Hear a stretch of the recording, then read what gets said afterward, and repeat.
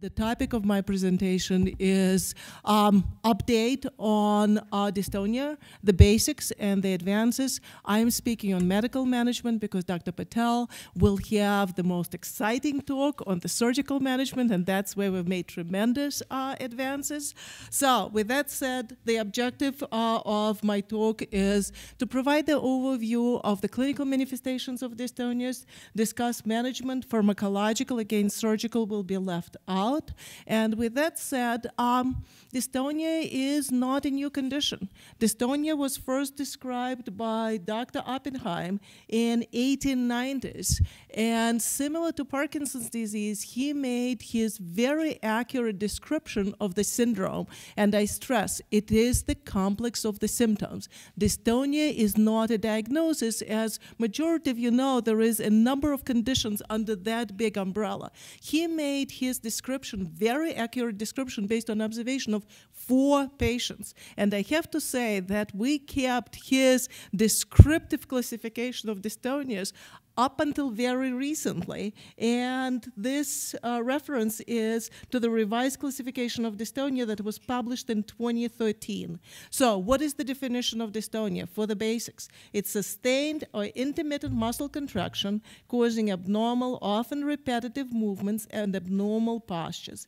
Dystonic movements are typically patterned, twisting, and may be tremulous, often initiated or worsened by voluntary movements. So, this is a revised description, and as you can see, compared for those of you who have seen these slides before, what was taken out of it, first of all, torsion dystonia was taken out to recognize that that's not the only clinical phenomenology of the clinical uh, symptoms, and gave more descriptive terminology, added tremulous movement to it with recognition that a lot of dystonias can be associated with that dystonic tremor as the clinical manifestations, and how common is uh, dystonia. For those of you who live with it, you probably will know that it is not a common condition. So the prevalence, a prevalence means the number of people living with the condition cross-sectionally. So pre the prevalence in the United States is estimated to be a quarter of a million people. So rare, but not that rare condition.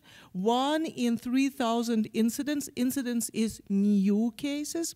And focal dystonias definitely are more common than generalized dystonias. 300 per million, nine, time, nine times more common than generalized. Out of focal dystonias, cervical dystonia is the most common, followed by by blepharospasm. There is some notion in the literature that writer's cramp, which is the hand goal directed dystonia probably is more common but less recognized condition. But still definitely cervical dystonia is the most common type of focal dystonia that we see in our clinic, uh, clinics for uh, management. And now i will walk you through the physician approach to the diagnosis of dystonia. So when we see the person for the first time in our clinics what is our thought process i probably am not going to give you that much new information in that, but I think that it is useful for you as patients, family members to really understand how do we arrive to diagnosis and what we know and what we do not uh, know. So first and foremost, it is the clinical descriptive diagnosis. So the diagnosis is based on two subsets. One of them is clinical description, the other one is etiology. What is the course, if we can identify the course? So when we go through the clinical descriptors of dystonia, we do very much visual, observational diagnosis. We divide the dystonias into generalized, which means obviously multiple parts of the body are involved. Segmental dystonia means two consecutive body parts. For example, dystonia involving the neck and uh, the arm. Multifocal, it is more than one but not connected anatomically, neck, and the leg, for example. Focal dystonia is obviously one particular body part, and as I have said, the most common type of dystonia. Hemidystonia, that means that it affects one side of the body. And when that happens, it is very important notion for physician to recognize because that's where we have to be keen to be looking for a particular lesion because the body is, God has created us symmetrically, right? And when something happens on one side of the body and doesn't happen on the other side of the body, that means that probably something happened to that part of the brain and the brain works crisscross to cause those symptoms. So these are the patients in whom we very methodically look into underlying structural lesions. Something happened around the birth of the child, something happened before the birth during the prenatal uh, period. So that's where the significance of identifying that half of the body distribution of the dystonic symptoms. So that is the description by distribution, right? Very basic, very any of you can look at the person and make that discrimination. The next one is by age of onset. And I will not go into the specifics young age, uh, young child, uh, older child onset, adolescence, but I will put that age of less to equal to 27 versus above. And why is that important? It is important because as of today, there haven't been cases described of a particular type of generalized dystonia caused by DYT1 uh, genetic course, and a lot of you are familiar with that, in the young adults above the age of 27. So it does give the physician diagnostic clue where we should be looking and whether we should do more focused genetic ascertainment or more generalized genetic ascertainment. So that's the significance of the age of onset. And then we describe by the progression of the symptoms. And again, we are collecting the points to put the puzzle together, to lead us to more definitive and more narrowed identification what is the course. So static meaning not progressive, right? Something happened and the symptoms have never progressed uh, from then, or progressive course of the symptoms. Variability of the symptoms. You know that dystonia is very action-induced type of movement disorder. And when someone is sitting resting, there might be much less of the symptoms. And when someone starts moving, then we see the dystonic symptoms. That's the nature of uh, dystonia. So, and a couple terms that are important for us to recognize action-specific dystonias. I already mentioned uh, writer's cramp, right? There is a particular type of action-induced dystonia in musicians uh, related to the type of instrument that uh, they're playing. I don't know whether there are any musicians in this uh, audience, but uh, pianists have been described having dystonias, and there is the whole subset of experts in the field who are focused on the management of those musicians' goal-directed uh, dystonias. We still need to have better understanding why do they develop uh, those symptoms. But again, important recognition. Then diurnal dystonia fluctuations during the course of the day. Again, very important symptoms for us to elicit because directs us to a potential underlying genetic course and what is more important to therapeutic efficacy. We'll get back to that diurnal fluctuations later, but just keep that term uh, in mind. And paroxysmal symptoms do not happen consistently. They come in spurts, in bouts, and then go away. And again, it's important because because there is the whole category of paroxysmal movement disorders and dystonias within those paroxysmal movement disorders is a particular uh, subset. So we're still working through the physician thought process of categorizing the type of uh, dystonia. And then whether dystonia is the only neurological symptom or whether there are other conditions associated with that, again, leading to the diagnostic clues where further should we be looking for identifying uh, the course. So that are the descriptors. These are descriptors. And as I tell the students, at that point, you don't need to know much of the history about the person. You walk into the room, you obtain that focused history, you walk out and give the description of the clinical manifestations of dystonia. Now you need to go to the next step, and that is the second part of classification. What is the underlying etiology? And the etiology is divided into three broad categories At the top, as you can see, are the inherited dystonias. And probably all of you know that there has been explosion of the knowledge of the genes associated with dystonia. Explosion of the genes, still a lot to be known and to recognize what are those genes responsible for. We, get, we will get more into the discussion of the genes, but as you can see, as of at least last year, there have been 25 different genetic causes of dystonia identified.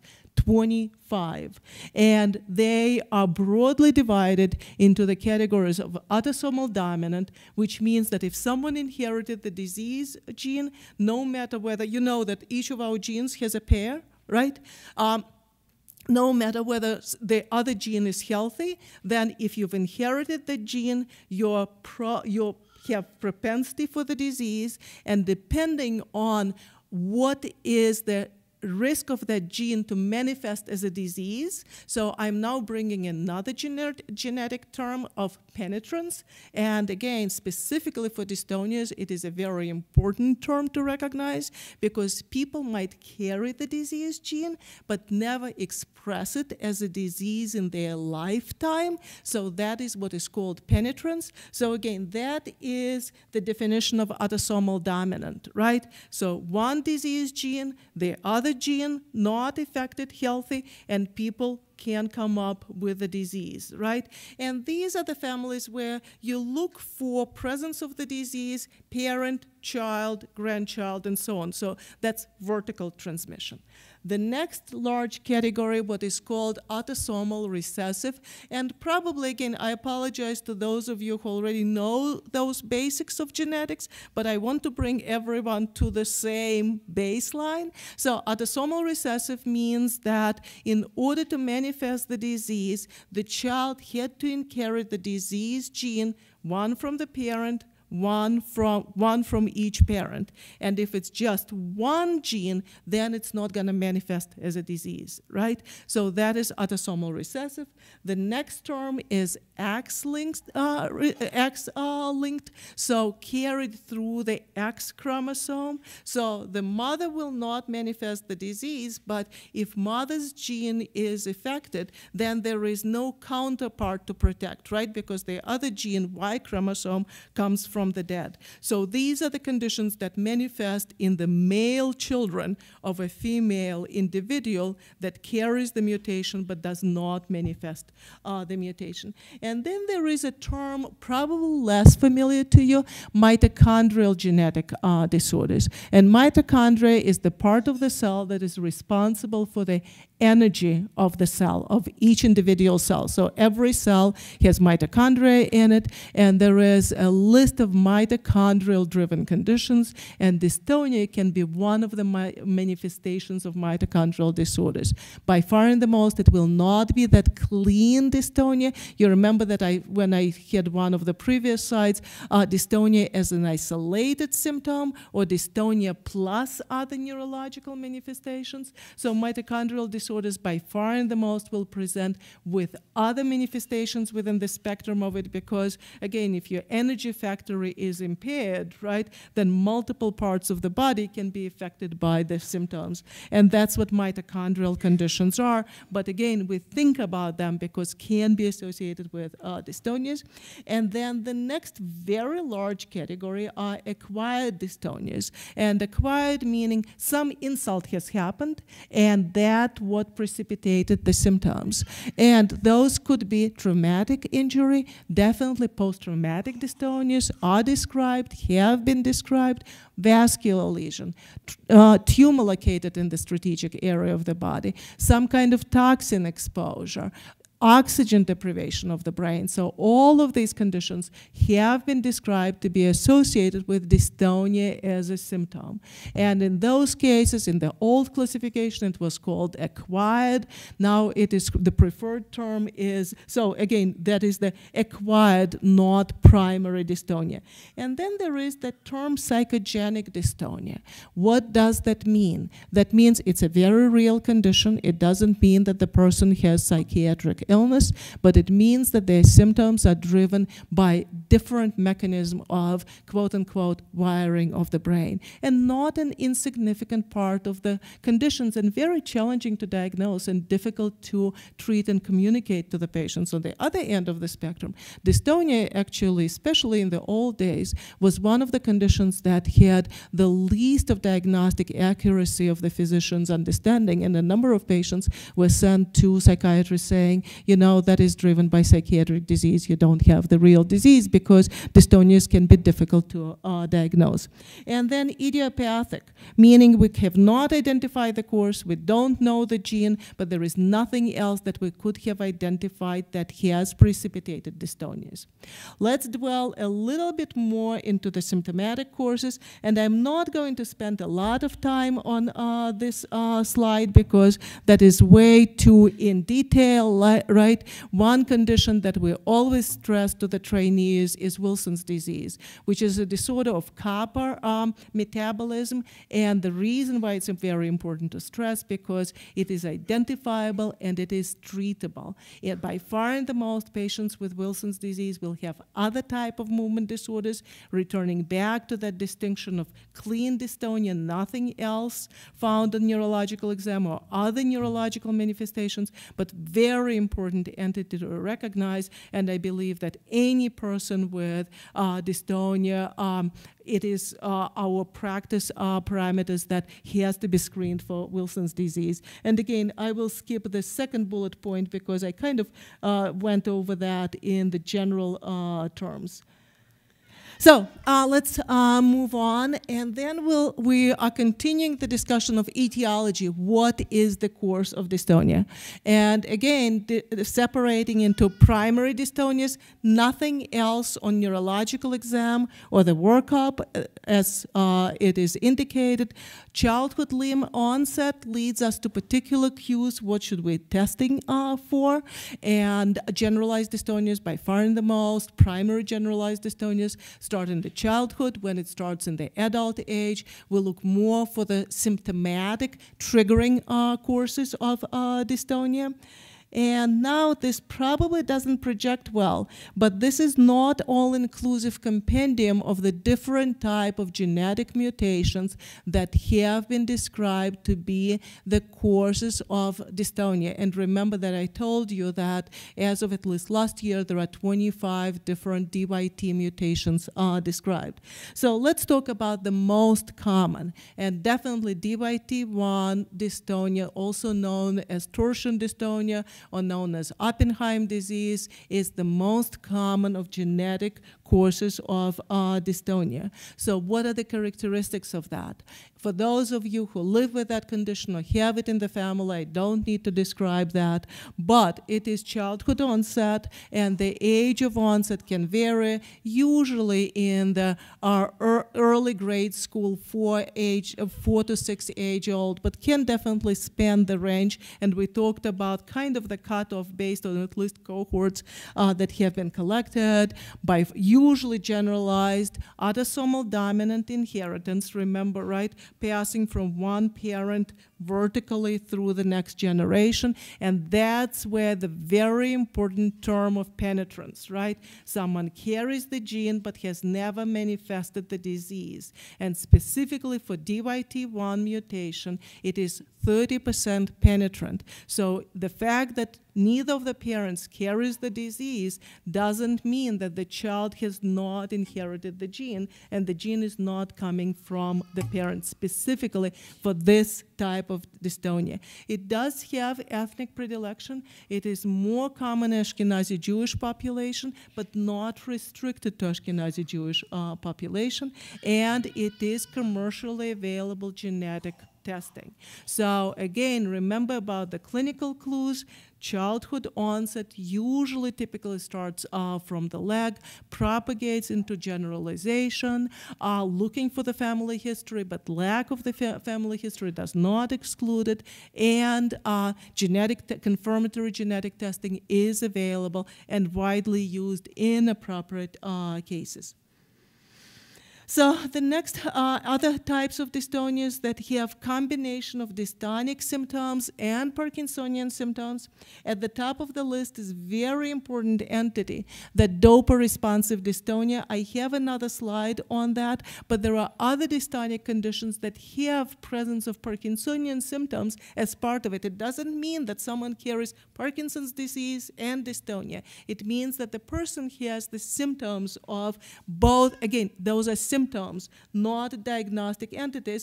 And I have listed some of the genetic mutations that are associated with Parkinsonian uh, symptoms within the spectrum of uh, the presentation. So let's talk a little bit about dopa responsive dystonia because it is an important entity because he has therapeutic effective intervention. So what are the characteristics of dopa responsive dystonia? It is childhood onset dystonia, usually starts with a lower limb, so similar to the presentation of DYT1 uh, mutation.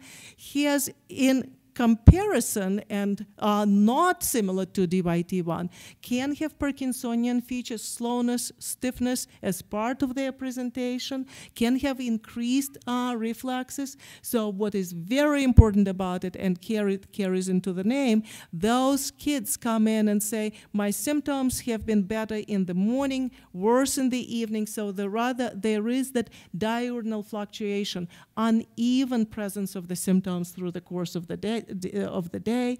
What is most important therapeutically and diagnostically is that they have dramatic response to levodopa replacement therapy. Levodopa is the prodrug of dopamine. Levodopa is the drug that is used for treatment of Parkinson's disease. Here, it's a very different reason why they respond to uh, dopamine replacement therapy. In Parkinson's disease, those cells die, and that's why we give additional dopamine. In dopa responsive dystonia, there is breakage of connection that converts precursor of dopamine into the next step. And that is breakage of connection is due to that mutation that codes for this term. I'm not even going to decipher for you, and I'm not going to quiz you on that. But what is most important is that they predictably respond to small dose of levodopa. And what it brings into the clinical importance is that any person person, specifically a child diagnosed with dystonia, will receive a therapeutic diagnostic challenge with levodopa, or you frequently would know it under the brand name of Sinemet. Carbidopa levodopa is the way we give that medication exactly for that reason. You don't want to miss it. It is DYT5 uh, dystonia. Commercial genetic testing is available. The problem is that there are multiple mutations in that gene, and commercial testing captures only one of them. So for the rest of them, it's either research testing or the whole genomic sequence that we'll talk uh, in a minute. And then there is the category of paroxysmal uh, dystonias, and again, they carry specific uh, genes. I will spend less uh, time on that, but those are usually, again, the kids who will have the symptoms paroxysmally, sometimes triggered by the movement, sometimes triggered, triggered by sport activity, sometimes uh, not, and triggered by rest on the contrary, right? So, uh, talking about the genetic testing, we already talked about the fact that it is available for DYT1 dystonia, obviously available for symptomatic testing when someone has the symptoms and you want to give the confirmatory diagnosis, right? It is available for asymptomatic testing of subjects at risk. So someone has history of dystonia in their family and that affected family member knows to carry the genetic mutation. And the parents want to know whether either their other kid or someone else in the family carries the gene. And that asymptomatic at-risk genetic testing should never be taken lightly, right? You are giving prediction of the risk of developing of the disease in a person who doesn't have the symptoms today. And it always, always has to be, has to be preempted by evaluation by neurologist, geneticist counseling, sometimes involvement of the psychologist, a number of uh, social issues, insurance issues have to be put in into the place. So again, it is available, but always in discussion, careful discussion, not just with one person, but with a team. And obviously, that's where we also get into the prenatal testing. We carry the genetic mutation, we meaning one of the parents. We are planning to start the family, we are planning to have the kids, give us the risk assessment to give us the knowledge whether the fetus is carrying genetic mutation or not. It is available, again, should be done in a center that has qualifications to put the family through the counseling and then through the testing, but it is available. Uh, we talked about DYT1 testing, that is dystonia with diurnal fluctuations, uh, and then there is this term NGS, and that is a very widely used uh, term in the medical genetic literature now. It stands for next generation sequencing.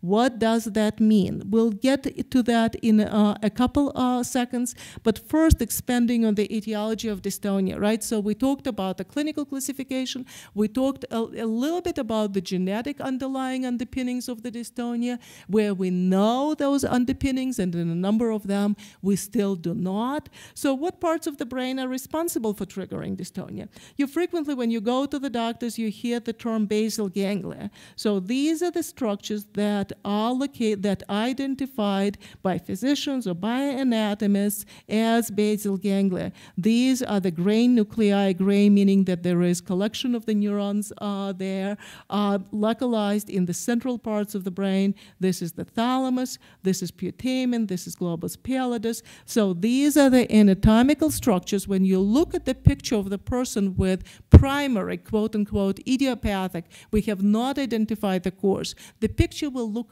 fine in majority of cases. There is more recent literature that on high resolution, very high precision scans, you might find some subtle abnormalities, but overall, majority of you were so told that MRI scan is not going to show the course of your dystonia unless there was a trigger, right? Unless there was structural lesion, stroke, or something else, right? So it is really the wiring of the connections between these structures. And now I will show you a very scary picture.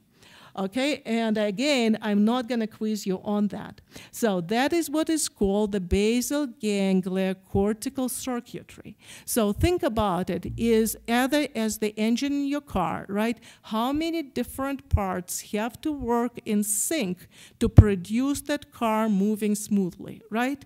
So that's what has to happen in the brain. There are activation neurotransmitters, there are inhibitory neurotransmitters, and all of them have to sing sing in sync, right? Or think about the orchestra and someone's violin is completely out of sync, right? Doesn't sound right, right? And that's what our understanding of the mechanism of dystonia. It is really the connectivity. And Dr. Patel, when he talks about the surgical management, it actually provides to us the clues what are the targets for the surgical intervention in dystonia. And the next, so that's what happens. This is the connectivity in the normal brain, right? And these are the connectivities in someone whose wiring has been misaligned. And in the old literature, and I'm not talking about 50 years ago, even five years ago, we were talking about low activity or high activity. More and more data is coming out that it's not really the intensity of the activity, but it is the rhythmicity of the activity, and it is the connectivity and the syncing and syncing in sync, quote unquote. And some of the clues to that, and again, Dr. Patel, I suspect will expand on that, is uh, that we put the electrode in the same areas of the brain that we put the electrode for Parkinson's disease, right? Two separate conditions. We put the electrode in the same anatomical structures and provide benefit for both of those uh, conditions, which tells you that it's not not just too much or too little, but it is the connectivity and synchronicity and rhythmicity of the activity of these nuclei. Okay, we're done with this scary picture, right? But I thought that it's important for you to recognize the complexity of the connections, right, that are driving the uh, symptoms. And again, unfortunately, we still need to know much more of what actually is happening wrong in that connectivity of that mechanistic connection between the uh, different parts. Now let's get back into the clinical uh, section. And so how do you make the diagnosis? I told you first that to recognize the symptoms, you don't need to know anything about the history. You need to know a lot about the history to identify what are the potential causes and whether you can have the specific diagnostic testing of it or intervention. We usually say that 70% of diagnosis in neurology in general comes from very careful history taking. So your history is very important. Your neurological exam is very important. Depending on the history and physical exam, the physicians in majority of cases will order an MRI of the brain, and as I have said, and sometimes of the cervical spine imaging, and as I have said, in someone with primary dystonias, these scans predictably will come back as normal, nothing significant. We will order the blood tests or urine test, and we already talked about the reason for the Wilson's uh, panel. You never want to miss it. In majority of cases, we will do diagnostic trial of levodopa, again, not to miss the treatable condition of dystonia with diurnal fluctuations, and then we will decide whether genetic testing is appropriate. And how do you decide uh, on the genetic testing? We talked about the genes that we can uh, test uh, for.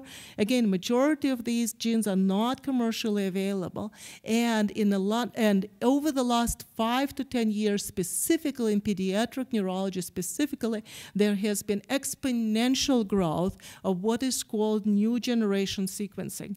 So think about the book in which you are looking for the specific word, right? And you're scanning the book just for one word, right? Or your other alternative to have a program in your computer to scan the whole book and see whether it aligns normally or abnormally with your library. And that's basically what the next generation sequencing is doing, right? Whole genomic sequence is looking for the whole book of the genes, and there is plentiful of that. Your regular computer is not going to be able to store all that information, right? I usually tell the patients and to myself, okay, I've, I've got back the results of that thousand pages book. What do I do with that, right?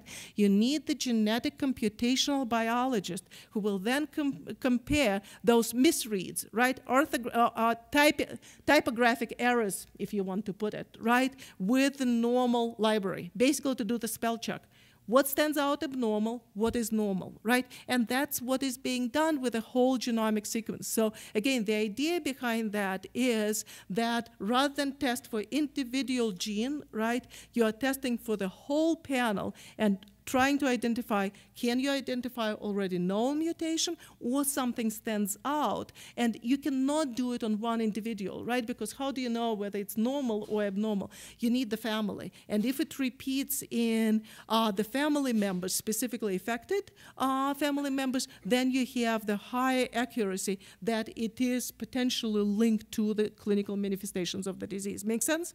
And you will also hear so that is the whole genome sequence right right? Whole genome sequence is huge. It's still very expensive, though the prices are uh, exponentially going uh, down. What is more frequently done is testing for the whole exomal sequence. So that is a part of the gene. It actually is a small part of the gene, less than 10%, but it does most of the coding, right? Less expensive, more uh, accessible, still done more on the research uh, basis rather than on the commercial basis, but very, very rapidly, again, specifically in the pediatric movement disorders uh, clinics, there is a shift from single gene testing to that whole panel sequencing for multiple reasons, technical uh, advances, cost going uh, down. So that is my two words. I'm not a clinical geneticist, so but this is my very brief overview of genetics. Uh, so and now we're moving into the management, right? And that's your major question. What can you do for us? Uh, and I always preempt uh, the discussion with non-pharmacological management. I will overview pharmacological uh, therapy, and unfortunately, we have not made much progress. I'll talk briefly about botulinum toxin injections for those for whom it's appropriate. have two slides on baclofen and will not talk about surgical management. Uh, so with that uh, said, non-pharmacological management, I cannot reinforce how important is are all the how important are all the aspects of it. And first and foremost education and counseling. I don't need to tell the families who have the condition in their family how important that is how many questions you have. So seek the answers to your questions physical therapy occupational therapy speech therapy genetic counseling that we talked about social work uh, intervention whether that's for the child for the school adaptation whether it is for the adult for the work adaptation all those services are available and obviously I don't need to tell to people sitting in this room that support groups have very important uh, role in your adaptation to living with uh, the condition and for the family members' knowledge. So let's move on into the discussion of botulinum toxin uh, efficacy. So FDA approved for cervical dystonia and blepharospasm, however, indicated and being used for any type of focal uh, dystonias. Uh, two toxins are commercially available uh, worldwide, including United States is toxin A and toxin B. So, and this is the chronology of the development of uh, the toxins. So, first of all, it was toxins were identified in the late 19th century, became commercially, became tested for uh, neurological indications in 1978. Actually, Dr. Scott was ophthalmologist and first tested it for strabismus and then for blepharospasm. And then the first commercialization of toxins was in 1989, it was botulinum toxin A, known under the brand name of Botox, and that was the first toxin approved. And for the next 10 years, the commercial approval for the toxin was restricted actually to strabismus and blepharospasm, despite the fact that all of us were injecting it for other types of dystonia. And then it became uh, FDA approved for cervical dystonia at the time with another strain of toxin A became available. And as of today, we have four different toxins commercially available for management of dystonias. They still belong to two different strains, and I'll give you a very quick overview of underlying pharmacology. So first of all, what is botulinum toxin? Obviously, it is a toxin, right? It is a toxin pr produced by Clostridium botulinum uh, uh, spores. It is a gram-positive bacilli, right? So, and it is the toxin produced by it. Uh, immunologically, there are seven distinct forms, and these are the number. They are labeled by the letters, and commercially available are two. Some other have been tested, F has been tested, E has been tested, but really was not shown to be sufficiently long acting uh, and efficacious. So released from uh, the bacteria, that's what I usually tell the patients, that's not where we get it. We don't get it from bad canned food or from uh, honey sitting uh, in your drawer for a long time. Obviously, it is commercialized and very stringently controlled. So how does that work? So toxin A in normal uh, junction, right, connection of the nerve to uh, the muscle, uh, there is production of acetylcholine from the nerve ending, and that is the chemical that connects the nerve to the muscle and gives the signal work, con- constrict or start acting, right? So normally it is an essential chemical connection that makes you move, right? In the conditions that are associated with excessive activity of the muscle, what the toxin allows is to block, to reduce that propagation of the connection because the toxin works over here. It blocks the release of the acetylcholine from that what we call presynaptic uh, membrane, so it reduces the connectivity, translating into reduced ability of the muscle to spasm, right? So it reduces that overactivity of the muscle. It doesn't do anything with the nerve signals, right, or with the brain signals. It doesn't do anything with the etiology, with the course of the dystonia. It is purely symptomatic therapy, but highly efficacious for any type of focal dystonia, provided that you can treat that that way. And I usually tell the patients, if your type of focal dystonia uh, is amendable to toxin, it is much more efficacious for me to try to do it with a toxin injection than to give you systemic medications amendable uh, associated with systemic side effects of sedation and everything else, right? So this is the mechanism of action of dystonia. This is the first uh, toxin that was uh, approved, uh, as I have said, uh, Botox. So frequently you will hear the physicians kind of ingrained in our brain that toxin, when I talk about toxin, I frequently would say Botox, kind of one for all, but again, this is a particular strain of botulinum toxin A, and as I have said, um, in uh, 89, uh, in 99, uh, the botulinum toxin B was approved, which is known under the brand name of uh, Myobloc, right? And the difference, so that is the only toxin that belongs to a different class, right? B class. And the significance of that, if someone has developed resistance to the toxin, to toxin A, this is a different strain, right? You can legitimately switch from one to the other, though it is approved for primary management of cervical uh, dystonia as well. The other new toxins, um, three other uh, three altogether all belong to the class a. You cannot exchange they're not exchangeable because while they chemically belong to the same class they were manufactured differently. So from the fda standpoint they're not interchangeable. We cannot inject you say with uh, botox on one session uh, with uh, Xeomin on another uh, session and say they're exactly the same. They chemically belong to the same chemical structure but they're not interchangeable based uh, on uh, production uh, policies. What is the duration of benefit of toxin? Majority of the studies indicated 12, sometimes 16 weeks, and it really depends on the type of body part that is being injected, cervical dystonia, blepharospasm, arm dystonia, leg dystonia, and what are the potential side effects? Side effects are obviously site injection specific. If you're injecting around the eyes, you will be concerned about dryness of the eye, probably probably droopiness of the eyelid, uh, weakness of ability to open uh, the eyes. If you're injecting in the neck, you would be concerned potentially of the risk of weakness of the muscle that you've injected. Always you uh, talk to the patients about the risk of swallowing problems when you inject anywhere in the area of uh, the neck and so on. If you inject the arm and if you're targeting particular muscle, weakness of that muscle. The good news about that is that even if you develop the weakness, it doesn't mean that the physician has overdosed you. That means that that your muscles probably are more sensitive to it and that weakness will go away because the effect of the toxin is not permanent. And that's the reason why we need to ask the patients to come in uh, every three months on average for the repeated uh, injections. Now, I purposefully am not spending much time on uh, toxin therapy because toxins, while extremely uh, effective for management of focal dystonias, have been out there for a while. So you're familiar with them, right?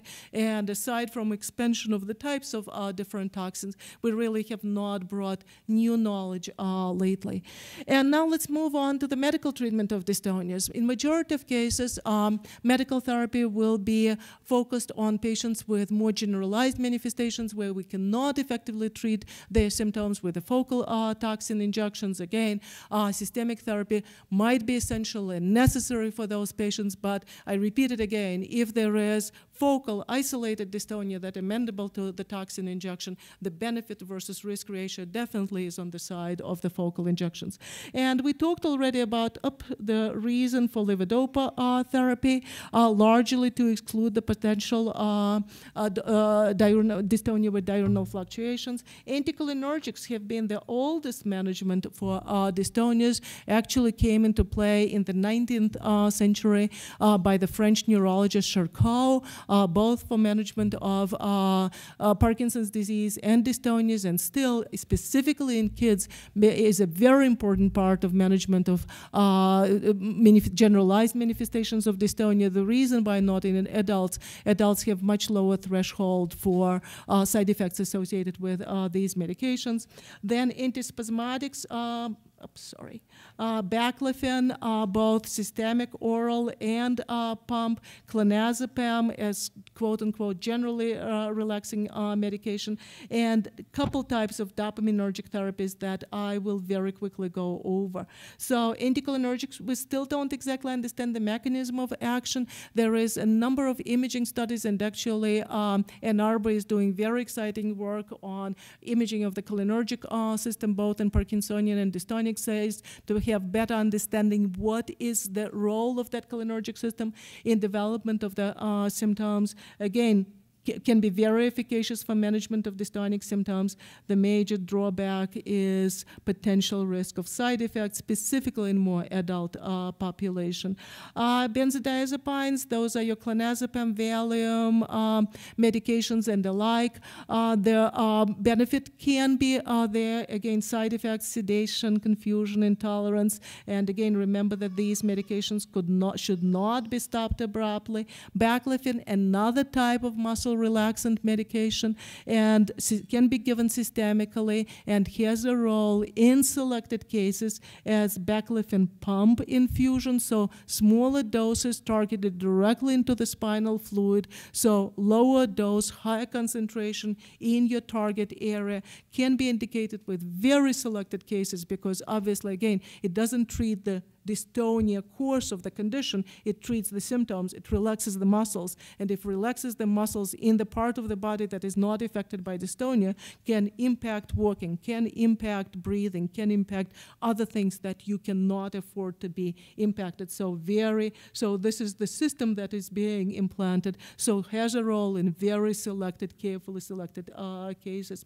And now dopaminergic uh, therapy in uh, dystonias, and the reason for, so dopamine, usually you hear about its role in conjunction with Parkinson's disease. So this is the system. This is my very simplified slide of dopaminergic system connection, right? So in Parkinson's disease, there is deprivation of dopamine production over here. In dystonic conditions, the way we understand, there might be hyperactivity here. So the treatment that we use actually is, and that's where the role of dopamine blocking agents uh, comes in, is to reduce the activity of the system by blocking these chemical uh, connections. And that's that's where the prototypic medications like Haldol and the like could be useful. The problem with them is that you block the system, it resprouts, it becomes more sensitive. So you block it, it comes back again. You block it, it comes back again. So actually, if we use those medications, we prefer to act on the presynaptic system and reduce the release of dopamine rather than block its conduction. And tetrabenazine, for some of you who have been exposed to that, is pretty much the only medication in that uh, class. And without going more into the, my last slide, and I cannot, and I cannot Uh, withhold. Putting that, Dr. Bega, are you going to talk about cannabis?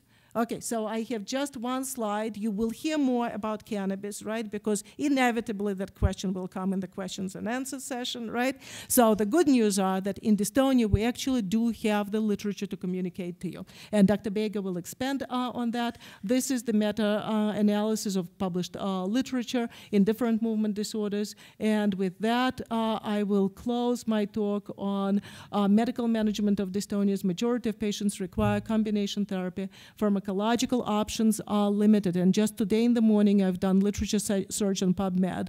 There were 240 hits for dystonia on clinical trials, and essentially no new pharmacological intervention. Majority, majority of those were surgical management, botulinum toxin. Both of them are extremely exciting, but we definitely need to do better with uh, the medical uh, management, and that is a good segue in Dr. Patel's uh, presentation. And with that, that uh, said, I will conclude my talk and uh, again appreciate the invitation and very much appreciate the being able to reconnect uh, with the foundation and these are the collaborators uh, that are working at Northwestern and uh, other collaborations uh, in our work. Thank you very much.